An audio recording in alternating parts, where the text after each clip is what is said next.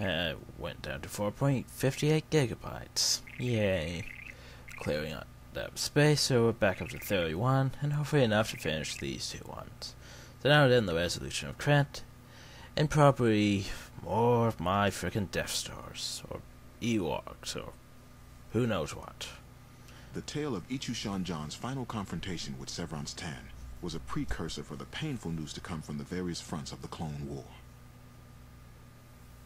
Without assistance or guidance from the Jedi Council, Echuu drew upon the hatred that had entrenched itself in his soul, and set out to rescue his Padawan. Gathering his remaining army, he hatched a plan to destroy Sev'rance Tann. The path he had chosen unfolded before him. Oh, goody. Echuu's gone pissed.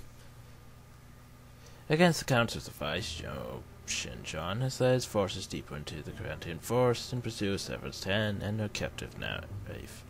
Driven by his desire for revenge as much as his duty to rescue his Padawan learner, Echuu steps perilously close to the dark side. Well, good for him. Without any worker droids, you're going to have to do a bit of exploring to find some means of protection. You won't be able to defeat the forces of Sev'rance Tann with your strong army alone. Be cautious bringing any military units too close to the heart of Tann's fortress. She may do something rash to Netrath if she sees the huge army bearing down on her.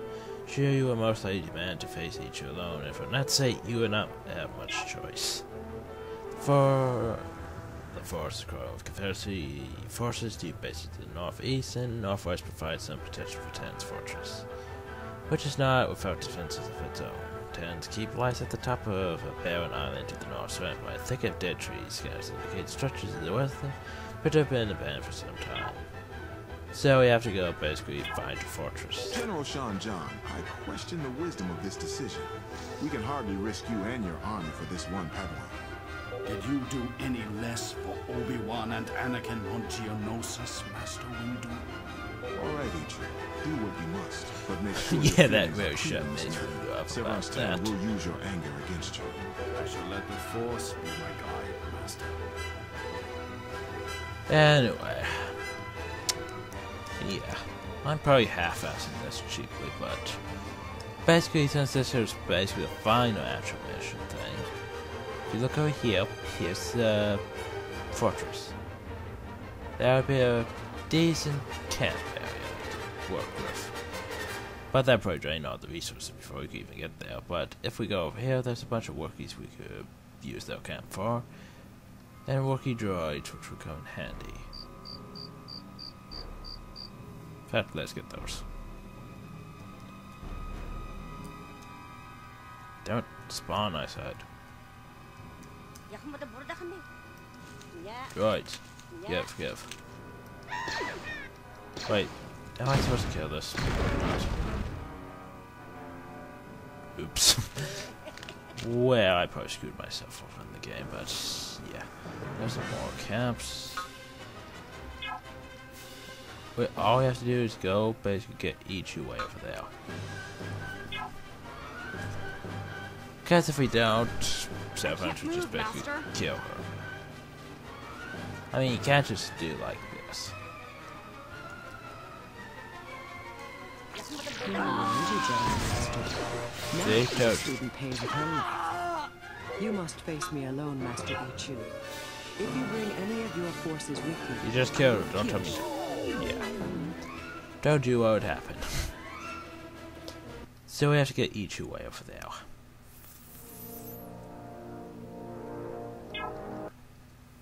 Let's try that again. Yes, I know. General Shen-Jon, I question the wisdom of this. I this know, decision. I know. We can hardly risk you and your army for this one Padawan. Did you do any less for Obi-Wan and Anakin on uh, Geonosis, uh, Master Windu? All right, Echuu. Do what you must, but make sure your feelings are clear in this matter. Sev'rance Tann will use your anger against you. I shall let the Force be my guide, Master. Getting there is difficult.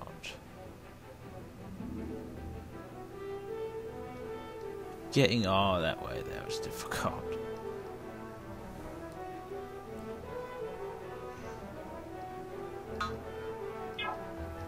Ah, Ugh.